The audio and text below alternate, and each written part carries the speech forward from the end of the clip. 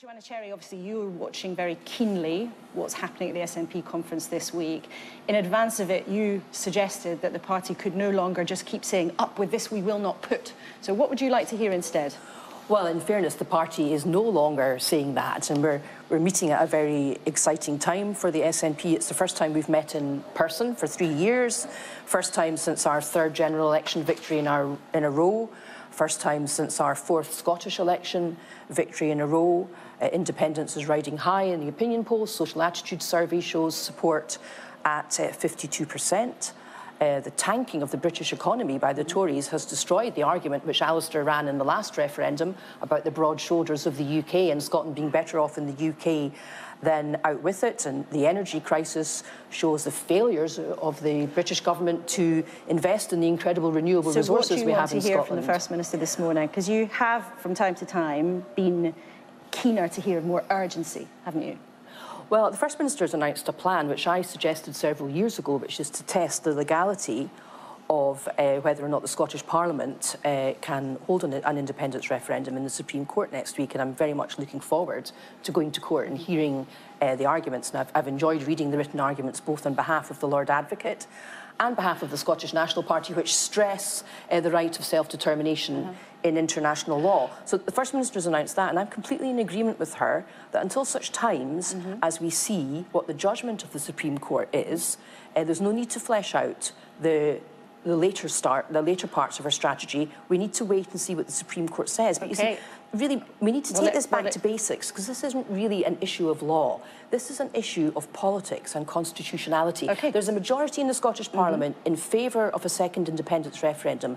The last time that happened, the British government came to the negotiating table and agreed that there could be a referendum. That is the custom and practice of the British well, Constitution. Well, let's see what the First Minister's got to say. You guys are with us throughout the programme, so we'll be back to you a little later on. Now, Nicola Sturgeon is probably the most successful politician of her generation. Certainly the last one standing after several Prime Ministers have come and gone during her time in office, but that dream of an independent Scotland still eludes her. Could the country reach another junction soon? Well, here she is, First Minister. Last woman good morning. Perhaps the best intro I've ever had, Laura. well, let, let, let, let, let, let's, let's see then. You are, you are here. We're glad that you're here this morning. You have promised to the country, and under your plan, Scotland is due to have a referendum in a year and 10 days' mm. time. Are you confident that will happen?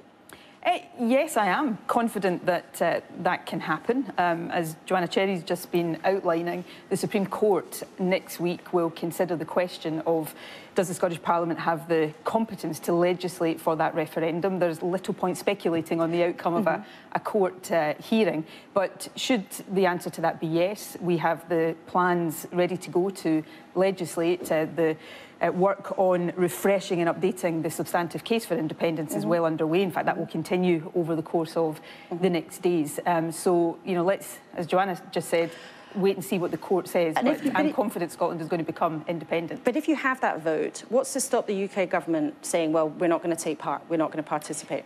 Look, I, I cannot sit here and uh, predicate everything I do on uh, the, the basis that a UK government will continue to act in a deeply anti-democratic fashion. I've got to do what I consider to be the right thing, which is firstly respecting the will of the Scottish people, which remember is for an independence referendum. I was elected last year as First Minister on a record share of the vote, on a record turnout, on a very clear manifesto commitment to a referendum. But just so, on that practical point, and I know why you want to have it and you believe you've got the right to have well, that, but I on that practical point, mm -hmm. you can't stop the UK saying, we're not taking I part. don't think, if, if the Supreme Court paves the way for a lawful referendum next year, I, I think the vast majority of the people of Scotland would take part in that. Mm. And you know, the UK government might decide to say they don't want them to take part in that, mm. but I don't think that is going to prevail. And I, apart from anything else, I think the overwhelming impression that that gives, which I think the UK government is already giving by their refusal to countenance democracy, is that they don't believe they can win the substantive case. If, if you are confident in your arguments in politics,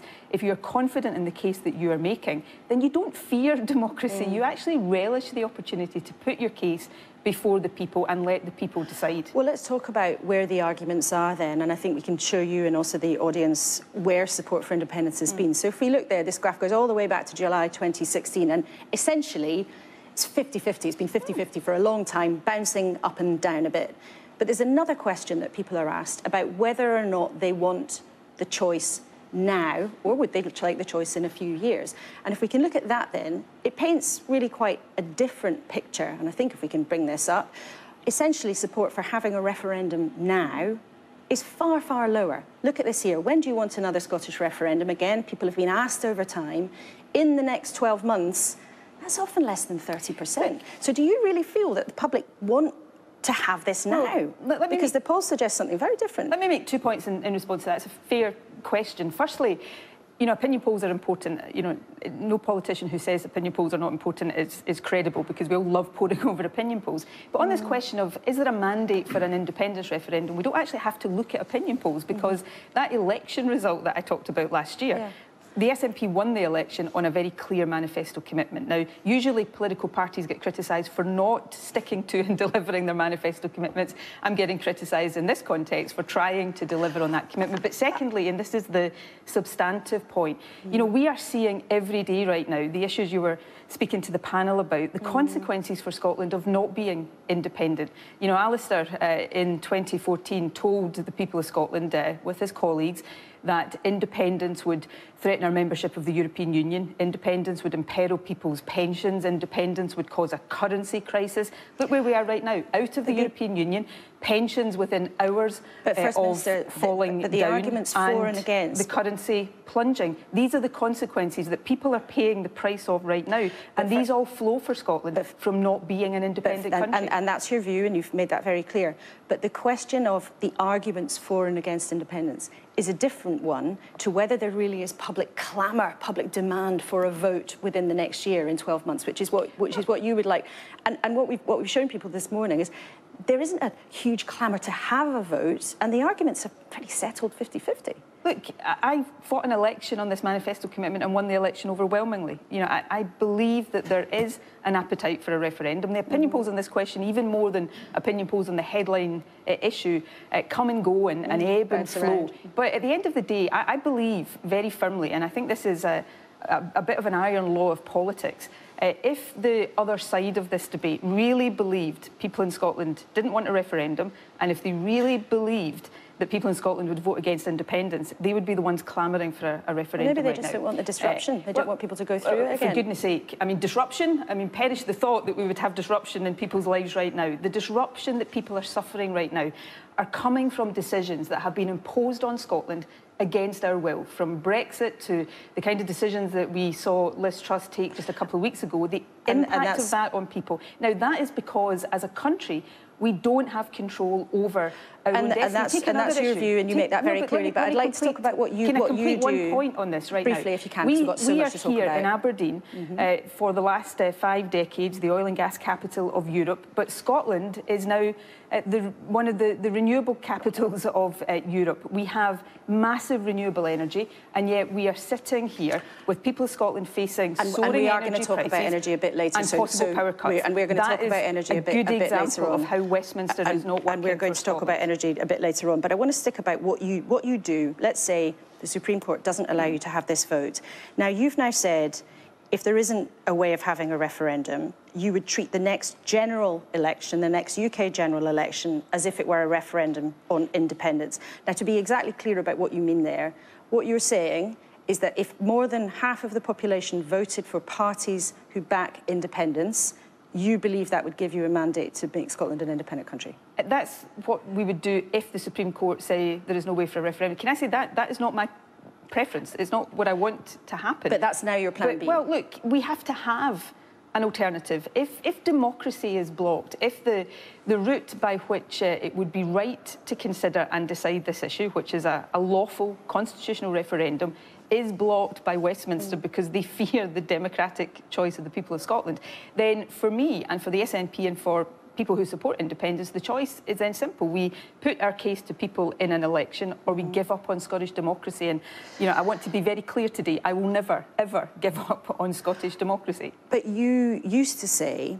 that doing anything other than having a legal, legitimate referendum was a unionist trap to use your yeah. words. And a few years ago, actually, at your party conference, people put forward the idea of using a general election. And you said, you said, be, no, you said it was a trap. But it, but it should be a last resort. I don't want to be in that position. I want to have a, a lawful referendum. That's mm -hmm. Whether you support or oppose independence, and both of those views are valid, I'm very clearly on one side of that debate. But whatever your, your, your view is on independence, the way to decide it is in a democratic, lawful referendum. So we're only talking but not, about the not scenario. a general election. Well, because but, a general election wouldn't general, guarantee you okay, independence, so, would it? But, but the, the thing is here, if a referendum is blocked, completely indefensibly blocked by a Westminster government, then what choice do, do we have? We, we say, well, the, the voice of Scotland doesn't matter, Scottish democracy doesn't matter, or we put our case to the people in but the general election. Wouldn't be, but let's hope we're not a, in that position. But, but, that also wouldn't give you a guarantee of it actually happening.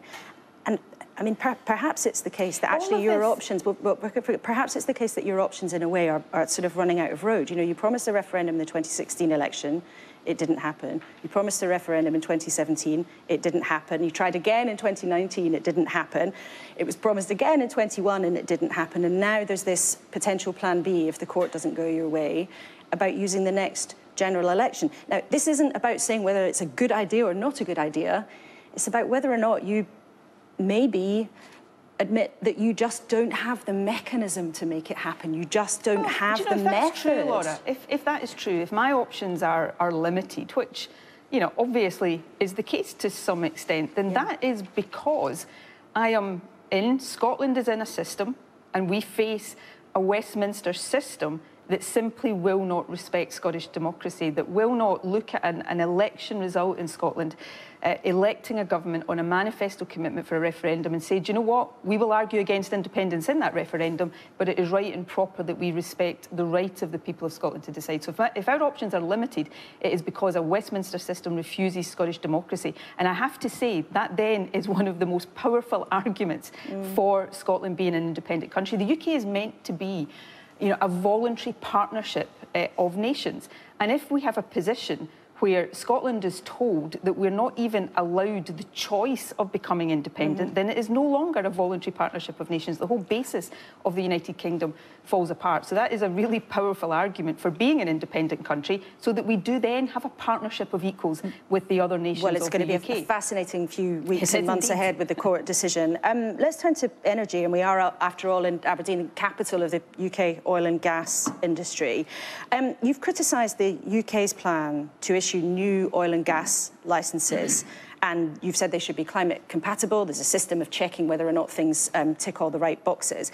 But would you ever support issuing new oil and gas licenses? I know it's up to Westminster at the moment, but if you're independent, so it'd be up said, to you. Would you approve them or not? Well, I'll come directly to that question in a minute, but let's just put this into context first of all. The, the North Sea, which has served Scotland well, mm -hmm. is you know a mature basin. It's a declining resource, uh, even before we consider the environmental uh, imperative here. Yeah, but, but, we but also, a, I'm, I'm coming on to, but we also have the environmental imperative of having to move away from fossil fuels as quickly as possible. Mm, people have and the Scotland is in trying the lucky, to pay their bills and keep the lights on. Yeah, yeah, but but exactly. We're in the lucky position of mm -hmm. having this vast renewable potential. We've just given the go-ahead to up to 28 gigawatts of offshore wind energy and, through and, the Scotland and First for, forgive so me for pressing the, you, but time is short. This is a question of principle. Would you ever can you see circumstances where you would approve licenses for new oil what and I've gas exploration? Whether it's new licenses or existing licenses that are applying for development consent, there must be at every stage a robust climate compatibility But if there check. is, so you would, because Friends of the Earth have said there can be no climate compatible new oil and well, gas. So that, in a sense, is the point I'm coming on to.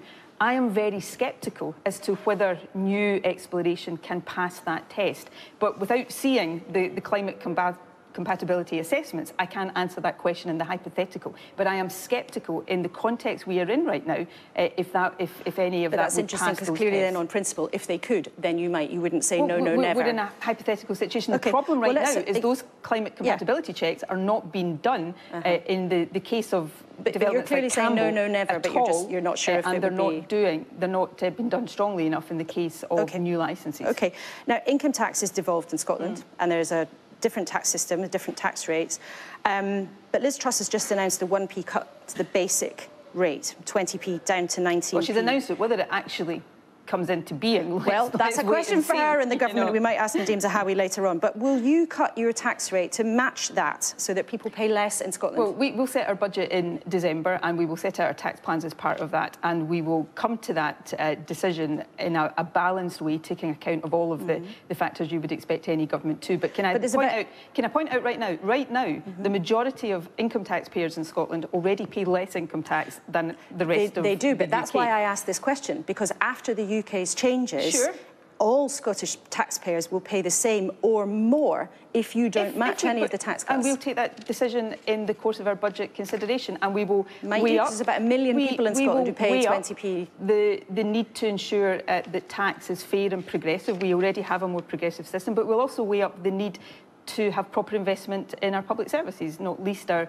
National Health Service, which is having you know, significant challenges right now. What we will not do, uh, and uh, it's not that long ago, just a week or so ago, when Scottish Conservatives, yeah. commentators mm -hmm. were demanding that we followed suit to abolish but the in, top rate of tax. We will not cut tax for the wealthiest at the expense but, but of everybody else that, and the, our public This services. is about there are about a million people in Scotland who pay that rate, and what I'm hearing this morning is you, you, you, you well, aren't ready to, to say well, whether or not they'll have, pay let, they'll have a cut in the same with way the greatest that English respect, Laura, we have a well-established mm -hmm. Budget process in Scotland. Oh, no, that's fine. I'm just asking so you the question the and you don't decision, want to answer it yet. And that's we fine. will take the decision based on a balanced consideration. This is a really difficult time for people. Mm -hmm. We are doing things to try to lift the incomes mm -hmm. of those at the lowest. We have a Scottish child that's why payment they might in quite Scotland. like a tax cut. Oh, but, but we have a Scottish child payment in Scotland that nobody else in the UK has. £25 a week almost uh, soon for every child in low-income families. Uh, we don't pay for prescriptions and in Scotland. We have and, free and, tuition and lots in of decisions you have to make in the to your budget, and we'll, so we'll, taxpayers we'll look in forward Scotland to get good value for money, um, better value for money than anywhere well, else in that's, the UK. That's your view. We'll look forward to seeing your budget a bit later fact, in the, a bit later in the year. Just briefly, we're, we're, we're running out of time, but um, is Liz Truss a friend or a foe? We're political opponents, but I've always tried to work with her predecessors and I will try to work with her. So I would like to be a friend on the basis of uh, the areas where we can work together constructively. And what about Keir Starmer, friend or foe? I work very well with Keir Starmer over Brexit. I'm really disappointed that Keir Starmer um, has thrown in the towel on uh, the European Union and no longer wants to take the UK or Scotland back into the and European Union. who would Union. you rather have as Prime Minister? Well, that's not a difficult question. I mean, if the question to me is would I prefer a Labour government over a Tory government, I, I detest the Tories and everything they stand for. So it's not difficult to answer that question. Uh, so, so yes, you want to see Keir Starmer you know, in what I'd say two things. Two things. Firstly, you know, being better than the Tories is not a high bar to cross right now. I think we need to see more of a radical alternative from Labour rather than just a pale imitation. And if you're asking me, do I think either a Westminster Tory government or a Westminster Labour government is good enough for Scotland, then my answer to that question is no. First Minister Nicola Sturgeon, thank you thank so you. much for joining us here in Aberdeen this morning. Well, lots to get through from what Nicola Sturgeon has been saying to us. Um, Joanna Cherry, what did you make of what you heard? Does this general election as a referendum kind of stack up to you? Well, I mean, I, I agree with everything the First Minister has said. As I said er earlier, it's some time now since I first advocated that we should test the legal case. Um, and uh, as I stressed earlier, and as the First Minister stressed, there's a majority in the Scottish Parliament for a second referendum to be held. Even if we lose the Supreme Court case, that wouldn't stop the British government from coming to the negotiating table. And that's what they should do. But what makes you think what I'd just like, I'd just like to say one thing. Um, a lot of people seem to have assumed in advance that we're going to lose. Um, I'm not a party to this litigation, but I've been involved in previous litigations, the prorogation case and the Article 50 revocation case, where everyone assumed we were going so to Brexit, lose. big, and we went on and, and, and we won in, in, the Supreme Court and in the European Court of Justice. Mm -hmm. So I would caution people against assuming that we're going to lose the case. I think there's some, there's some very uh, strong arguments. But I'm in agreement with the First Minister that we shouldn't get, she, she, doesn't need to flesh out her strategy on how she would use a general election as a, a, plebiscite until we see the outcome of the Supreme Court case. But there has to be, there, there has to be a recognition of the mandate that the First Minister got in the last election. There has to be a recognition that the Scottish Parliament, the majority of MSPs in it, want to hold a second referendum. If we cannot do that, then we need some sort of democratic event to demonstrate that the balance of, of opinion in Scotland has uh, changed. uh, since uh, 2014. So I'm, with the First Minister on this strategy. I mean, it, it's often, it's often, I'm often portrayed as somebody who disagrees with Nicola Sturgeon, but that's not the case. I mean, we have a big disagreement in the area of women's rights and lesbian rights. You know, that's why I lost my seat in the front bench, because I advocated for women's rights and lesbian rights in the face of a very aggressive gender identity ideology, and I'll continue to do that because I think it's the right thing to do. But on the cause of other people would describe that in a, in a different way, John. They may well do, but that's what happens. Sensitive debate. Now, um, on the cause of independence, Nicola and I are as one. And in fact, many of the issues I've suggested in the party over the years, such as testing this case, supporting a people's vote, have gone on okay. and become Alistair Darling, what did you make of what you heard? I mean, you and Nicola Sturgeon did combat in the uh, independence referendum in 2014. Has she managed to change your mind? Uh, no the thing that, that I think is, is striking is that you know this is this argument certainly from the SNP perspective is always characterised by the, giving the impression that somehow everybody in Scotland wants another referendum and it's being blocked by the Conservative Party uh, in uh, Westminster. Now, opinion polls are not everything, but the two polls that you showed, I think, are quite instructive. One is if you look at what's happened since 2014, really Scotland is split down the middle. Mm -hmm. This country is tearing itself apart. And that uncertainty is damaging to our growth prospects and to our, our, our well-being. The second thing is, it is abundantly clear there is not an, a majority of people in Scotland who want another referendum anytime soon. Doesn't have a point, though? Because if Scottish voters repeatedly, as they have done, choose the SNP as the most popular party, and the SNP has a clear plan to have independence in this country, doesn't she have a point that actually they're unfairly stuck. Well, look, I, the, at every uh, Scottish election, on general election, uh, I remember being told by the SNP, look, this isn't about independence. We just want to, uh, people to vote for us because, you know, they say they can run the country uh, properly, which is highly debatable, I think. You see, if there really was a surge and support for independence, you would expect to see it reflected in polls. And these polls are conducted just about every week now. Mm -hmm. Certainly but plenty of them. There's, there's no shortage of them. Mm. But what, what, what I think, what worries me is my argument about in 2014 and my argument today is that I think Scotland is stronger. I don't have no truck with the present Tory government. We've got a general election coming up in a couple of years.